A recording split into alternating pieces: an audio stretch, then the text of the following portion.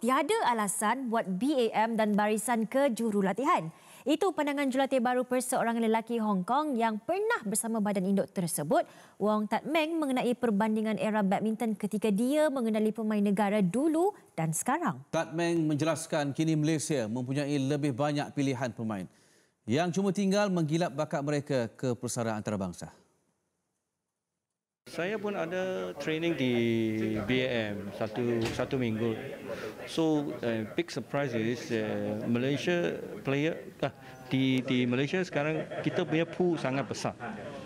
Uh, uh, young player banyak, especially lelaki lah. Perempuan mungkin kurang sikit, especially uh, uh, women single area. So uh, I hope that I hope uh, mereka jangan ambil alasan lagi kerana kita tak ada player.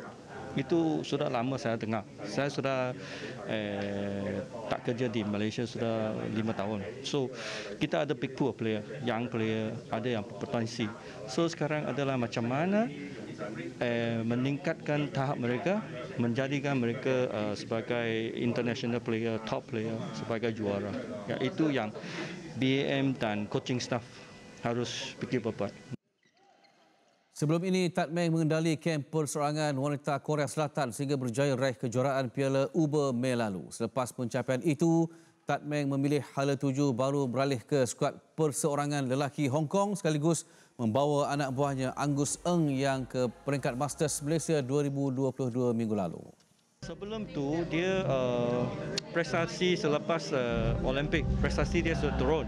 So confident dia kurang. So kebanyakan saya motivate dia lah bagi tahu uh, bagi tahu nampak kekuatan dia di mana supaya dia boleh uh, improve dia punya performance itu sahaja. Eh last week dia masih macam uh, 50-50. So this week dia ada eh banyak improve lah. So, terutama dalam uh, bila dia execute any strokes, he's more uh, uh, no hesitation. Ya, dia boleh terus buat itu stroke, tak ada fikir banyak-banyak itu. Ya.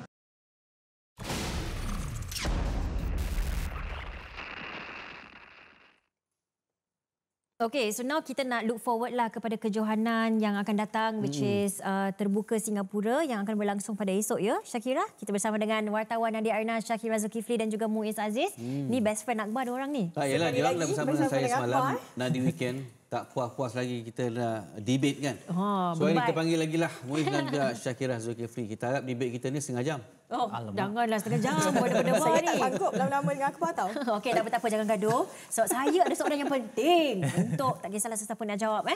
Angus Eng ni, uh, adakah dia kini menjadi pencabar terbesar untuk perseorangan uh, lelaki negara di terbuka Singapura nanti? Sebab ialah kalau lihat kepada background dia dan juga siapa coach dia, kita boleh katakan yang dia antara highlight jugalah di terbuka Singapura nanti macam mana tu? Uh, saya boleh mulalah dulu mm-hmm. sebab kali terakhir saya yang menemu bual dengan Tat Meng. Apa yang boleh dikatakan tentang Angus ni ialah dia bukan pencabar utama tetapi salah satu pencabar. Okay. Sebab kita harus ingat yang di terbuka Singapura ni terdapat beberapa pemain yang nama yang hebat juga seperti Sri Kan Kinambi, Sri, seperti Anthony Ginting, Jonathan Christie. Uh, ah, dan juga Chow Tian Chen. So daripada situ dia merupakan salah satu pencabar sebab kebanyakan pemain ini mempunyai momentum diorang sendiri untuk menghadapi terbuka Singapura. Mm-hmm. Uh. Memang saya setuju apa yang Muiz katakan. Apatah lagi kalau kita lihat um, Angus ni mempunyai kita boleh katakan dia memiliki nafas yang baru eh selepas mempunyai ketua jurulatih uh, perseorangan yang baru iaitu Wong, uh, coach Wong Tat Meng. Kerana kalau kita tengok um, rekod Wong Tat Meng juga sebelum ini mempunyai rekod yang baik, hmm. pernah um, apa tu membawa perseorangan uh, wanita Korea Selatan Korea. berada di kelompok lima terbaik dunia iaitu Eun Seong dan ia memang terbukti uh, walaupun uh, Angus baru sahaja memulakan latihan bersama Wong Tat Meng uh, right before uh, terbuka Malaysia 2022 minggu lalu start tetapi sudah ada keputusan yang positif di mana dia meraih uh, peringkat final di Masters Malaysia pada hmm. minggu lalu. Hmm. Okey, saya rasa cukuplah buat seketika kita bicarakan mengenai Wong Tat Men dan juga pemain-pemain yang dibimbingnya. Kita nak fokuskan ini Muiz dan juga Syakir Zulkifli kepada kita kita terbang ke Singapura dengan kekecewaan di Masters Malaysia, di terbuka Malaysia dan kali ini kita ingin mencabar di Singapura. Tetapi memandangkan kepada acara persoalan lelaki, ketiga-tiga wakil kita perlu mengharungi pusingan kelayakan terlebih dahulu. Ya, yeah, betul. Uh, jadi bagaimana uh, anda berdua melihat uh, antara pemain yang boleh ada peluang cerah untuk mara daripada peringkat kelayakan seterusnya berdepan dengan pemain-pemain uh, utama di pusingan uh, undian utama? Kalau kita lihat uh, di pusingan kelayakan kita ada tiga pemain dalam acara persorangan iaitu Cham Jun Wei, Eng Ziyong dan juga Song Juven. Uh, peluang yang paling cerah setakat ini berdasarkan di atas kertas dan undian adalah Eng Ziyong kerana dia tidak bertemu dengan pemain yang mempunyai kredibiliti yang tinggi. Uh, lebih kurang sama level dia sahaja. Tetapi kalau kita lihat undian bagi Juven, walaupun jika dia melepasi pusingan pertama, di pusingan kedua dia bakal bertemu dengan juara Malaysia Masters iaitu Chico. Uh, jadi di situ dia sudah mempunyai persaingan yang sengit. Hmm. Dan bagi Cham Jun Wei, dia bertemu dengan pemain yang mempunyai ranking lebih kurang dengan dia dan uh, itu akan menjadi satu titik di mana mental menjadi satu aspek di mana dia harus memperbaharui untuk menang perlawanan tersebut. Betul tu Akbar. Uh, sebab kalau kita lihat dalam tiga pemain ini, uh, memang perhatian tu kita perlu letakkan kepada Enziong ya yang bakal uh, menggalas cabaran di sukan Commonwealth selepas mm-hmm. ini. Uh, dan apa yang uh, saya pernah berbual dengan uh, coach Wong Chu Han sebelum ini uh, Ziong baru sahaja kembali ke gelanggang uh, bermula daripada terbuka Malaysia selepas hampir sebulan eh dia berehat untuk fokus kepada latihan uh, intensif uh, mm-hmm. kerana sebelum itu dia mempunyai back to back tournament dan apa yang coach uh, Chung Han katakan uh, dia melihat uh, peningkatan daripada segi prestasi Ziyong walaupun Ziyong uh, hanya sekadar menamatkan uh, terbuka Malaysia dan Masters Malaysia di pusingan pertama di pusingan kedua tetapi apa yang dia nak lihat adalah peningkatan prestasi. Itu yang Chuhan uh, katakan. Okey, tapi kalau kita lihat juga lah kepada possibility mereka seandainya mereka mara ke pusingan seterusnya, kalau ikutkan uh, sejarah ataupun uh, previous record before, adakah mereka mempunyai peluang yang cerah ataupun adakah mereka akan still akan struggle juga dalam perjalanan mereka, uh, Syakira? Kenapa tengok Muiz ya? Sejujurnya. Sejujurnya. Okay. Kita nak jujur kat sini tau. Sejujurnya, jika mereka...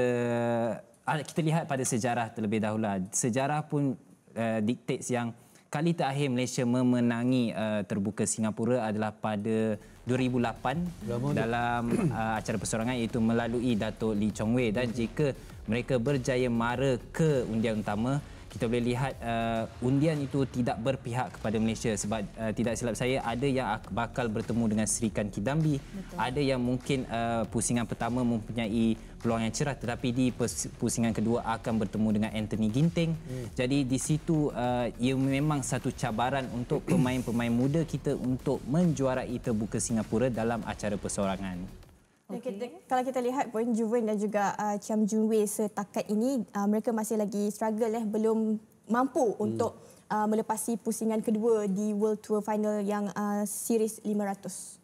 Hmm. Okey, uh, satu kebimbangan sebenarnya menanti kita lah, di terbuka Singapura berdasarkan apa yang dipamerkan oleh pemain-pemain Malaysia di terbuka Malaysia dan juga Masters Malaysia.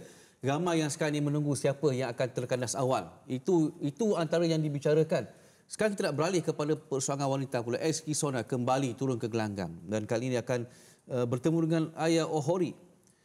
Jadi berdasarkan keadaan beliau sekarang ini, SK Sona, keadaan semasa dan juga badminton Malaysia, amnya, bagaimana kita melihat peluang SK Sona untuk jauh meyakinkan kita bahawa kita mampu bangkit di di uh, Singapura? Bagi Eskisona apa yang saya boleh katakan untuk pusingan pertama dia mempunyai peluang untuk menang. Ini kerana uh, oponen dia itu pemain daripada Jepun dia pernah mengalahkan ketika uh, BATC uh, dengan kemenangan straight set. Hmm. Tetapi kita harus ingat uh, Kisona sejak daripada Piala Uber Mei lalu dia masih mencari rentak permainan dia dan walaupun kalau dia menang pusingan pertama dia bakal bertemu dengan bekas juara dunia itu Rachana Itanon. Hmm. Ha, jadi kalau uh, di situ sudah menjadi satu penghalang untuk SK Sona. Yeah. Uh, memang betul. Kalau kita lihat last uh, best performance Kisona pun um, kalau nak katakan uh, gold medal tu adalah di Sukan C Filipina 2019 eh. Dan untuk setakat ini pada musim ini uh, performance terbaik Kisona adalah pada di terbuka Swiss uh, dia meraih um, peringkat suku akhir. Dan kalau kita throwback balik sebelum ni Kisona ada upload dekat dia punya social media yang dia mengalami kecederaan dan saya fikir memang kita perlu memberi masa untuk Kisona uh, kembali mencari balik dia punya rentak ataupun momentum dia punya prestasi sebenar selepas dia pun sudah berehat hampir dua bulan lah daripada mana-mana kejohanan. Mm-hmm. Okey, uh, soalan saya tambahan sikit lah tentang SK Sona sebenarnya. Tak kisahlah Muiz ataupun Kira yang nak jawab. Kisona ni kita tahu dah lama dah kita tak lihat dia beraksi kan a few months juga because of injury. And dia ni sebenarnya seorang yang boleh pergi jauh tetapi kerap kali dia kira injury prone lah. So dia punya mood dia macam mana? Adakah dia dia still bersemangat lagi? Adakah dia masih lagi willing to fight? Sebab di sebalik tabir nak tahu juga macam mana keadaan Kisona ni Muiz. Kalau kita lihat pada aksi Piala Uber dan beberapa aksi sebelum itu seperti Syakira mention hmm. tadi terbuka Swiss dia dah boleh sampai suku akhir. Uh, Piala Uber bila dia tewas dia nangis. Bila satu pemain menitis air mata disebabkan kekalahan, maksudnya semangat itu masih ada. Mm-hmm. Cuma ia bergantung kepada mental state dia sekarang. Disebabkan mungkin selepas kekalahan satu kekalahan-kekalahan dia mungkin tidak mempunyai kepercayaan terhadap diri dia untuk memenangi satu uh, perlawanan. Sebab itu kalau kita lihat uh, kebanyakan pemain bila mereka perform kebanyakan pemain seperti Fajar Alfian, Rian Ardianto semua uh, menyatakan bahawa mereka sudah mempunyai keyakinan mereka balik. Hmm. Macam Angus tadi Tak Meng cakap, dia hanya motivate saja Angus untuk mendapat keyakinan mereka balik. Sayang. Dan mungkin dia pun um, boleh dikatakan takut juga untuk ialah kalah-kalah and then dia kan ada satu kali tu dia dapat judgement yang berbau mm-hmm. racism mm-hmm. Uh, itu juga menjadi faktor mungkin tapi yeah. kalau kalau saya pergi ke uh, latihan um, dekat ABM tu dia masih uh, apa berlatih lah di situ. Masih lagi bersungguh-sungguh berlatih lah. Tak bukannya apa sebab kita ramai je yang meminati menyayangi Kisona ni. So kita nak lihat dia dengan potensi sebenar. Kita tak nak dia dikaburi dengan benda-benda yang tak best ni. Yeah. Kita nak lihat dia comeback. Betul. Hmm. Begitu juga kalau kalau kita bicarakan mengenai bergu eh, hmm. terutamanya bergu lelaki. Kita kita memang semuanya rasa sangat sangat terkejut dan kecewa dengan apa yang dipamerkan oleh uh, Aaron Shah Sowoyi terbuka Malaysia, Masters Malaysia dan kali ini mereka tidak akan ke Singapura. Tetapi kita tetap mahu melihat acara bergu lelaki ini mampu mendominasi pentas di Singapura. Jadi siapakah harapan kita yang ada yang tinggal yang boleh kita harapkan untuk menutup kehilangan uh, Eric Chia dan juga Sowoyik, Syakira? Um, saya fikir Walaupun kita tidak dapat lihat uh, bergu lelaki utama kita beraksi di terbuka Singapura selepas kekecewaan dua uh, tournament yang uh, beraksi di apa home lah kan. Kita boleh uh, memberi tumpuan kepada Ghost Zafir dan juga Izudin. Okay. Uh, yang mana saya fikir dia mampu untuk uh, beraksi sehingga ke saingan suku akhir. Mm-hmm. Kerana kalau kita lihat uh, draw di dalam draw first round uh, dia akan bertemu dengan Hiroki dan juga Masayuki yang uh, mempunyai yang di mana Zafir dan juga Izudin mempunyai ranking lebih tinggi daripada okay. mereka di kedudukan ke-12 dan uh, pasangan Jepun ini berada di ranking ke-55 dunia. Dan untuk uh, second round pula masih lagi uh, peluang itu terbuka untuk Zafir dan juga Izudin. Uh, dia kemungkinan akan berdepan dengan uh, pihak India lah Arjun dan juga Dhruv Kapila yang berada di ranking ke-37. Cuma apa yang membimbangkan uh, adalah di saingan uh, suku akhir yang berkemungkinan dia bakal berdepan dengan uh, legend Indonesia eh Asan, Asan dan juga Hendra Setiawan yang menduduki ranking ketiga. Tapi saya fikir kalau dia dapat uh, dia dapat buat apa yang coach Rexy katakan sebelum ini di mana kerisauan coach Rexy ketika beregu lelaki uh, bila sampai ke semifinal mental terus jadi drop. Hmm. Uh, jika mereka mampu mengatasi masalah ini, saya fikir dia uh, Zafir dan juga Izudin mampu untuk uh, mengulangi uh, pencapaian ataupun kejayaan Aaron Chia dan juga Sohuyik ketika di uh, terbuka Malaysia hari itu. Hmm. Mengalahkan Hasan dan juga Jadi uh, tekanan mental itu saja yang itu saja masalah yang kita ada. Back to back tournament ni macam mana? Kalau kita singkat. lihat uh, Izzuddin Zafir, kita tak boleh lupa ketika Piala Thomas. Izzuddin Zafir pernah mengalahkan world champion dengan uh, Japan.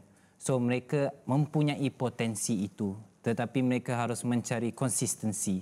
Macam Rexy menyatakan bahawa jangan takut untuk kalah, jangan takut untuk mencuba.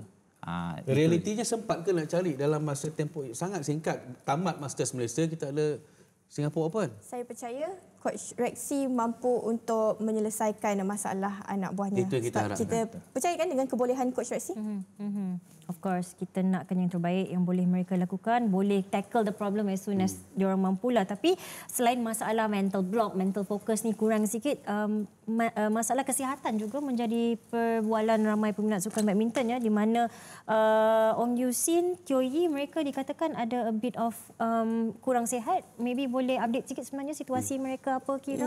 Ya betul tu Dayang. Um, selepas terbuka Malaysia, Mhm. mm-hmm. uh, didapati positif COVID-19 dan uh, kalau kita lihat uh, posting di social media Yi pun dia hari tu admit dekat hospital um, disebabkan uh, apa wabak yang sedang Influenza. influenza. Oh. Uh, jadi untuk persiapan Yusin dan juga Yi ni agak tergendala lah kerana macam Yusin kena kuarantin hmm. dan Yi kena perlu fokus dengan kesihatan dia. Hmm. Tapi dia masih lagi uh, beraksi lah di terbuka Singapura hmm. ni.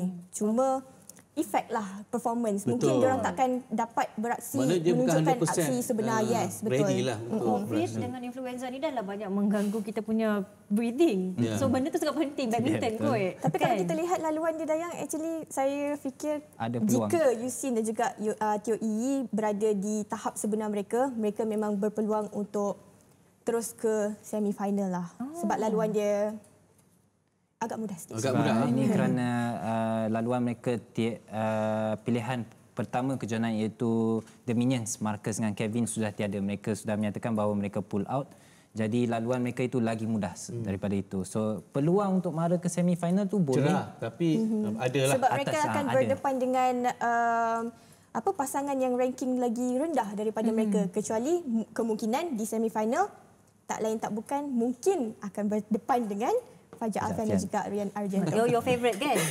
Tiba favourite Shakira. Okey, baik. Soalan seterusnya kita gabungkan eh, untuk bergu campuran. For the first uh, untuk for the second time selepas berpisah Chan Peng Sun Goh Liu Ying akan bertemu sekali lagi sesama sendiri.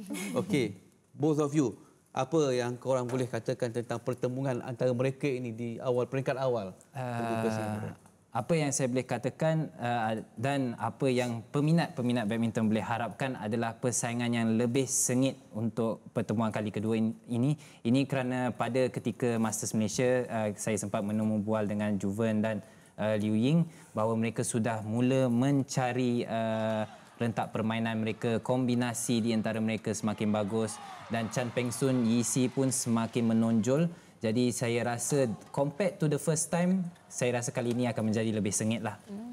Tapi apa yang perlu kita beri tumpuan adalah uh, pasangan Chan Peng Sun dan juga Yisi eh, yang baru saja Singapura ini menjadi kejohanan kelima mereka uh, bergandingan bersama. Uh, dan sebelum ini Peng akui dia masih lagi mencari rentak ataupun uh, keserasian bersama Yisi walaupun sebelum ini mereka pernah bergandingan di Sukan C 2017 cuma perlu mempamerkan prestasi lebih baiklah kerana uh, Yisi dan juga Peng Sun agak bakal apa menerima cabaran di Sukan Commonwealth nanti. Ya, ya, ya, betul, betul, betul. Jadi sebenarnya ini peluang terbaik lah. Tap- Cuma kita janganlah buat perbandingan antara regu Peng Sun dan juga Liu Ying ni ma- mana yang lebih dominan kan. Sebab itu Tetapi mungkin saya tidak adil. harapkan yang uh, Yisi dan juga Peng Sun ni dapat melepasi second round kerana uh, empat kejohanan sebelum ini mereka belum lagi lepas pusingan kedua. Mm-mm. Hopefully sekarang ni adalah masa mereka sudah tiba lah kan. Saya harapkan untuk Sukan Commonwealth. Oh, okey, faham, faham. Okey, daripada bergu campur kita move on pula kepada bergu wanita. Kita tak ada Pearly, Tina, Anna, Missing di bergu wanita memang tak ada. So, bila tak ada diorang ni, siapa harapan kita? Siapa yang boleh kita harapkan? Uh, Muiz. Nak bermula dengan saya. Dia Tapi saya rasa saya dah... Tak, sebab dia cakap dah kira, jangan kira. Dia cakap bagi ke Muiz So, sikit. saya dah berkata daripada single ke mixed double. Di sini saya I memberi peluang ke apa Shakira pandangan lah. tentang wanita. Okay, tak apalah. Pandangan Okay, Okey, daripada okey, saya okey. boleh je. Uh, saya rasa untuk terbuka Singapura bila tiada Pearly, Tina, Anna, Messing ni kita mempunyai Valerie dengan Yin Yuan. Walaupun mereka gandingan muda, mereka mempunyai potensi uh, untuk menyelah seperti mana kita tengok kejohanan sebelum ini. Walaupun mereka tewas pada pusingan awal tapi mereka mampu memberi tentangan sengit. Mm-hmm. Jadi kita harus meletak harapan kita kepada pandangan yang realistik tidak mengharap lebih. Ah, Tapi saya fikir itu akan menjadi um, apa tam, menambah experience untuk uh, bergu wanita muda kita ni. Walaupun kalau kita lihat undian dia agak susah di first round. Uh, first round dah jumpa adik-beradik Stova eh. Tapi saya menghar- tapi why not? Kalau kalau Ana dengan Messing pun uh, boleh melakar kejutan mm-hmm. beberapa kali kan mm-hmm. uh, mengalahkan uh, ranking yang lebih tinggi daripada mereka mm. dan why not uh, Yin Yan dan juga Valerie mampu untuk melakukan perkara yang sama. Itulah selepas apa yang kita saksikan di uh, Terbuka Malaysia dan juga di Masters Malaysia, kita sekarang ni perlu mengharapkan keajaiban berlakulah di Singapura untuk kita melihat mereka melakar kejayaan yang boleh dibanggakan. Terima kasih kepada bakal pengantin Muhammad Aziz dan juga Tanya. Tahniah. sorry sorry sorry rahsia